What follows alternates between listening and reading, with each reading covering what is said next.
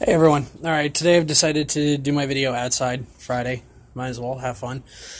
And do it out here. Also I have a lot of there's kids inside and they're making a lot of noise. So instead of my normal spot, here. Um really nothing much to report to this week. I got had to do a test in math last week was waiting to receive it this week, didn't get it yet.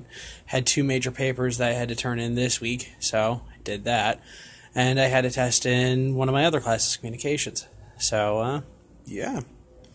Um, other than that, I have a video that's coming out tomorrow. Hopefully, I'll get the one out for Skyrim on Sunday. Um, that's pretty much it to report this week. I'll go ahead and, like I said, try to get one out for Skyrim on Sunday. Uh, as far as that one, people may be angry I've gone from level 1 to level 7 or 8, maybe 9. And really, it's not major quests I'm doing going out and killing.